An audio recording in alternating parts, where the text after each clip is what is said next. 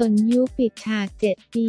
ขั้นเทพ โพสต์ความในใจถึงฉายา พระเอกโรบอทท่ามกลางความเสียใจของแฟนๆ ที่ต้องอำลาหนึ่งในตัวละครที่ทั้งรักและผูกพันมานานกว่า7ปีอย่างขั้นเทพตัวละครจากซิทคอมอารมณ์ดีเป็นต่อ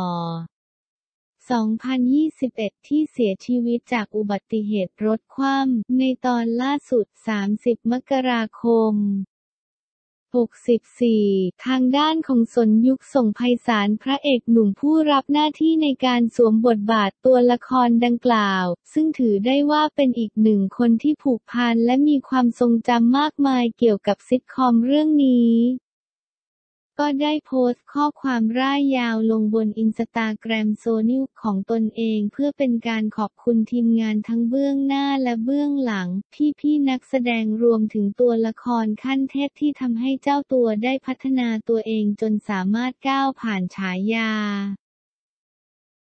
พระเอกโรบอทที่หลายคนมอบให้เมื่อหลายปีก่อน ซึ่งในท่อนสุดท้ายของโพสต์ดังกล่าว สนยุคยังได้กล่าวถึงซิทคอมเรื่องเป็นต่อ 2021 ด้วยว่าผลงานชิ้นนี้จะเป็นประสบการณ์ดีๆ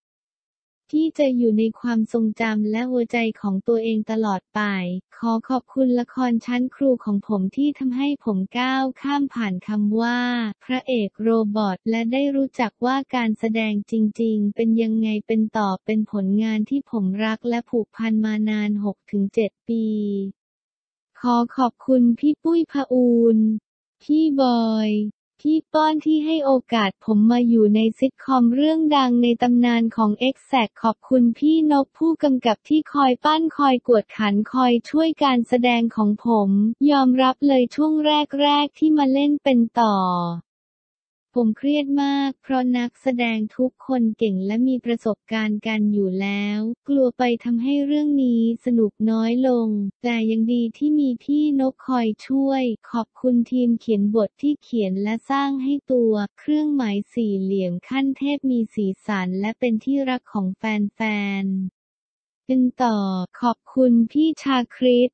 พี่พิมพ์ พี่กิ๊ก พี่เกลือ พี่เจี๊ยบ พี่อู๊ดพี่แหม่ม พี่ปุ้ย พี่ธงธงและนักแสดงทุกๆ คนที่เป็นทั้งครูแต่ละคนมีวิชาให้ผมได้ศึกษาและเป็นทั้งครอบครัวที่ผมรักและรักผม ขอบคุณทีมงานเป็นต่อทุกคนที่คอยดูแล ผมเป็นอย่างดีตั้งแต่ต้นจนจบเป็นต่อจะอยู่ในใจของผมตลอดไป เป็นหนึ่งในประสบการณ์ชีวิตที่ดีสุดของผม ขอบคุณครับเปิดใจ ออฟฟี่แม็กซิม หลังโพสต์ชีวิตเปลี่ยนบอกเป็นเวรกรรมเพื่อนเลิกคบ รายการถามสุดซอยออกอากาศวันจันทร์ศุกร์เวลา 10.10ถึง11.00 น ทางช่องเนชั่นช่อง 22 ดำเนินรายการโดยเอิร์กพรมพรยุวเวศและนภัสธีรดิษฐากุลวันนี้ 1 กุมภาพันธ์ สายตรงหาออฟฟี่แม็กซิมหลังโพสต์ดราม่าชีวิตล้มละลายคิดฆ่าตัวตายขอเริ่มนับหนึ่งใหม่ ชีวิตมันเป็นอย่างที่โพสต์จริง ๆ เหรอ ใช่ค่ะเหมือนล้มเหลวในชีวิตจากที่เคยมีทุกสิ่งทุกอย่างตอนนี้หายไปหมดเลย มันเกิดอะไรขึ้นอยู่ดีๆ ชีวิตพลิกผันจนไม่เหลืออะไรเลยจริงๆ ต้องพูดว่าเวรกรรมเลยนะคะ คือเคยทำตัวไม่ดีนิสัยไม่ดีเข้ากับสังคมไม่ได้แล้ว เป็นคนที่เหมือนควบคุมตัวเองไม่ได้ เป็นไบโพล่าซึมเศร้าด้วยเวลาจะพูดจาอะไรไม่นึกถึงความรู้สึกคนอื่น กิริยามารยาทหลาย ๆ อย่างแย่ตอนนี้เริ่มนับหนึ่งใหม่ทุกอย่างทำโดยมีสติมากขึ้นเอาทุกอย่างมาเป็นบทเรียนว่าการใช้ชีวิตประมาทไม่เกิดผลดีกับเรา รวมถึงคนรักแต่งงานกันตอนไปมีคนอื่นทำตัวเหลวแหลกเองจนเลิกกล้ากันไปค่ะ ตอนที่ไปมีคนอื่นเราคิดยังไง ขอโทษนะคะใช้คำว่าสันดานเลยดีกว่าเป็นคนเจ้าชู้ทำอะไรไม่คิดคิดว่าฉันคือออฟฟี่จะทำอะไรก็ได้ แต่จริงๆ แล้วมันไม่ใช่อย่างนั้นเลยมันเหมือนออฟไปทำร้ายชีวิตสามีเก่าให้พังทลายลง ทุกอย่างดีหมด มีลูกด้วยกันอยู่แล้วแต่กลับเลิกทางเดินผิดเองทำตัวเองทุกอย่าง ที่บอกว่าเป็นไบโพล่าซึมเศร้ามีโอกาสไปคุยกับคุณหมอไหม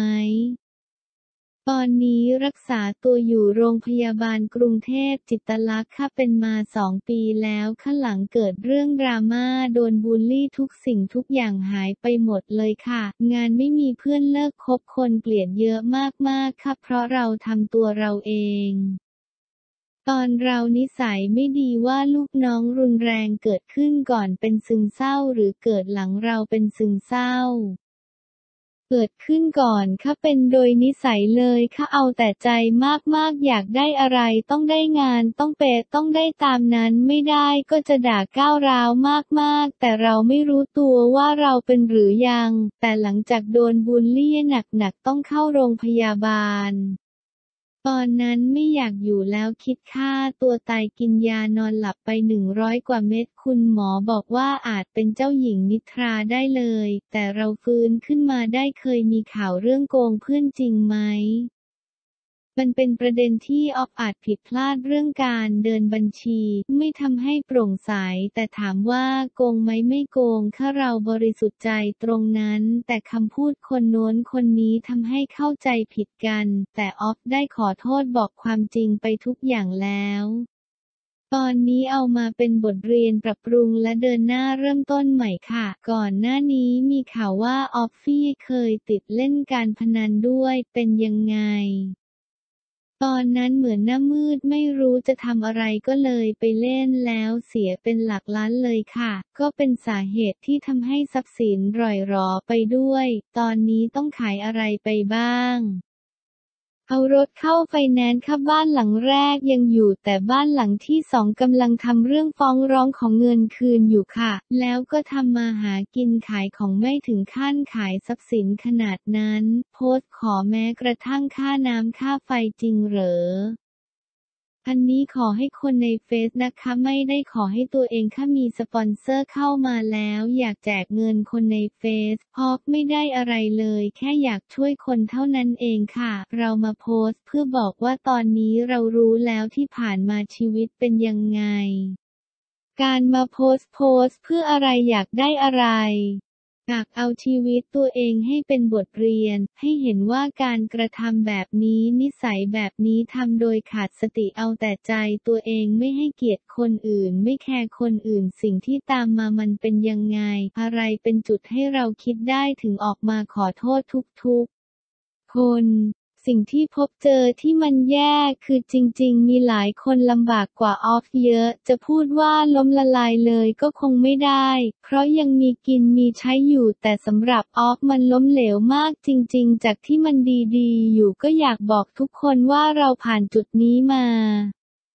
เรามาถึงจุดที่แย่ที่สุดในชีวิต เพราะตัวเราเอง เพราะการกระทำของเราเองเลยอยากบอกทุกคนว่ามีสติในการใช้ชีวิตให้มากที่สุด ดีที่สุดแล้วมันจะทำให้เราดีขึ้น ถ้าหากอดีตสามีหรือเพื่อนที่เคยทิ้งเราไป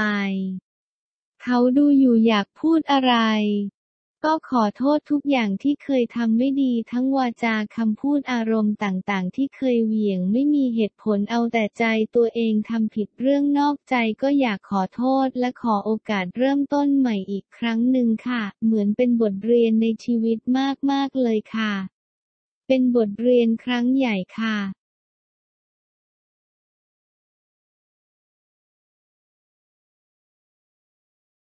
แต้วนัทพร คุยกับพี่สาวเล่าเรื่องขนลุกเหมือนคุณพ่ออยู่ด้วยกระพริบไฟตามที่บอก หลังจากเพิ่งจอดดราม่าเพราะแต้วนัทพรได้ไปเช็คอินแวะซื้อกาแฟระหว่างที่เดินทางไปตรวจโควิด -19 อีกครั้ง